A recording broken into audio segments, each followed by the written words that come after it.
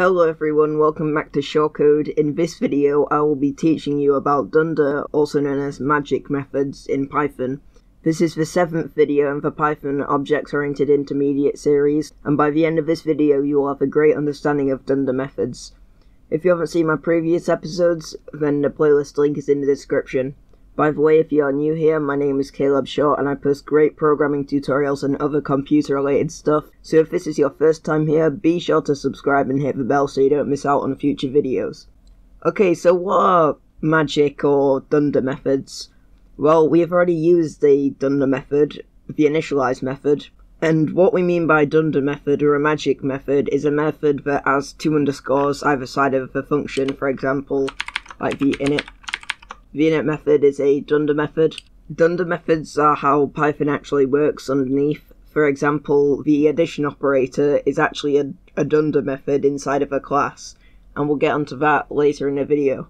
So let's get right into it. If we just create a class called tree, so class tree, and we create an init method, we'll have self name branches and leaf color. And this init method right here, this is a dunder method itself because it's got these two underscores either side of it. And then we'll just do self dot name equals name, self dot branches equals branches, and self dot color equals color. Okay, so if we create an instance of this class called t, Okay, so we've created our instance and now we need to pass in uh, a name, so uh, let's just have an oak tree. Branches, let's have 10 branches, and its colour can be green, green leaves. And now let's print out t and see what happens. Print out the instance.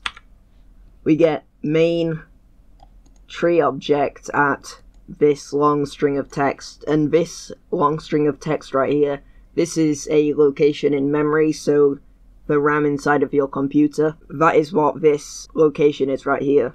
Okay, so now we have done that, let's go back into our tree method and create a dunder method called repr.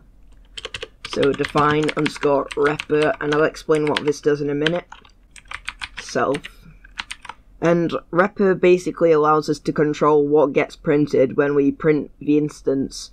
Inside our repr method, we should return a string, so return, how about we return branches. Okay. And now if we run it again, we get name oak, branches 10, and color green.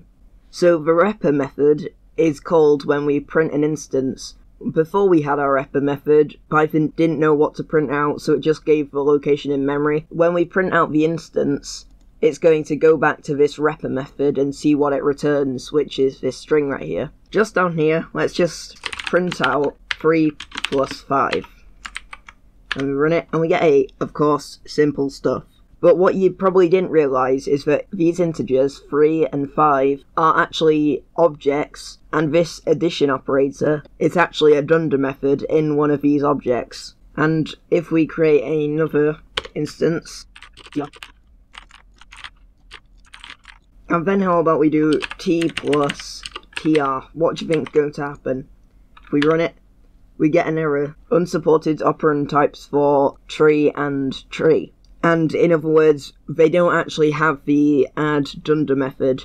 So let's make our own add dunder method in the tree class. And by the way, magic methods and dunder methods are the same thing. So define add self and the parameters for this should be self and the second operand, which I'm just going to call x.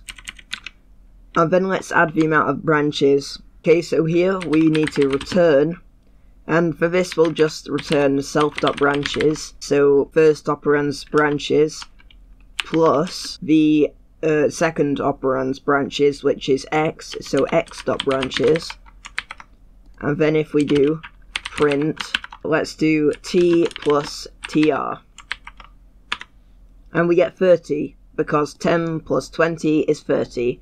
And obviously we could change this to, I don't know, self.color plus x.color.